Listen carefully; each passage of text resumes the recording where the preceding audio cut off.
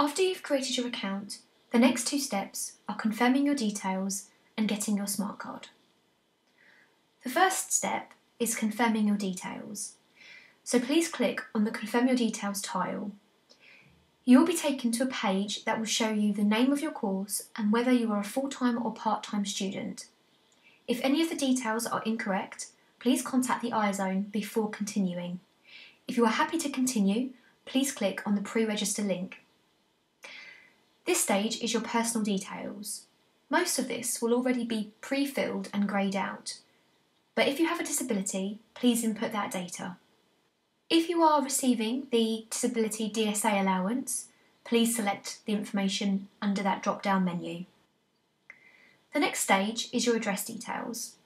Please make sure your permanent address is correct and that we will have an up-to-date email for you. It is important that we have both your university email address and your personal email address along with your telephone details. On the section Term Time Address, we know that you may have applied for university accommodation but may not have been offered any just yet. If this is the case, please keep your term time address the same as your permanent address. You can change this at a later date. Please make sure you input your next of kin details correctly. This includes putting in an emergency contact name and telephone number and address. If the address is the same as your permanent address, then you can choose from the options available. The next section, we require your institution details. Please do not worry if you can't remember everything. Just put in your last place of study, which will be sufficient enough. If you are under 21, please give the occupation of your parent or guardian, but if they are unemployed or retired, then please input their recent occupation. If you are over 21, please enter your own occupation.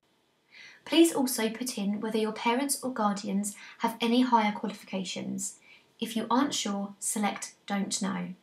We then require some information about you, which is completely confidential and only helps us to promote equality. If you do not want to input this data, you can select Information Refused at any point and then move on to the next stage. The next stage is about who is going to pay your university fees. If you are self-paying, you will need to enter your own financial details.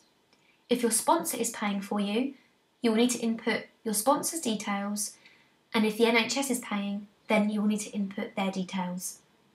If you are choosing the student loans company, then the university will arrange payment on your behalf with the student loans company.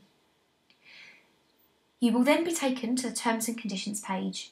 You must select that you have read these before clicking on the next and save. It is very important that you spend some time reading this, as this is a contractual agreement between you and the university.